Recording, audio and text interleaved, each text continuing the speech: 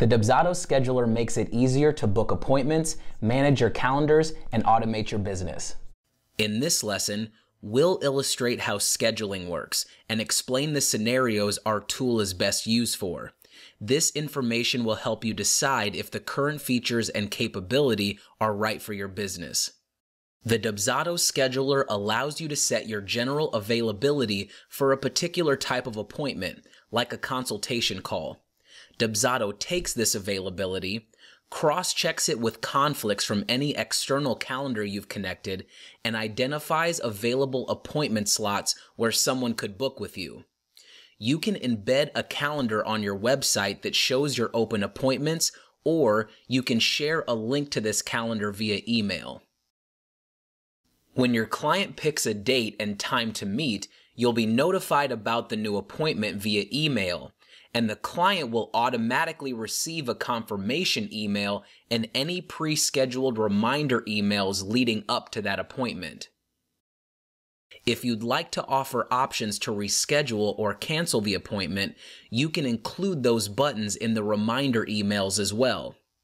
You can also choose to require a deposit before the client can book their appointment, or attach a Dubsado form to collect additional details like contact information for a brand new lead that wants to have a consultation call.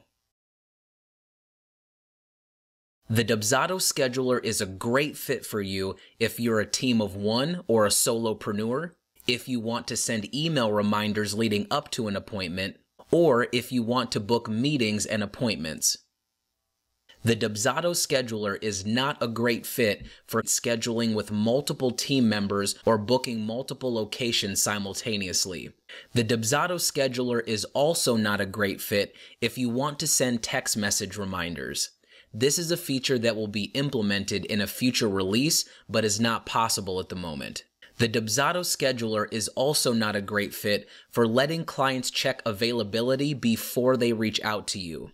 The scheduler is ideal for a client who is ready to book and confirm a date that will go right onto your calendar.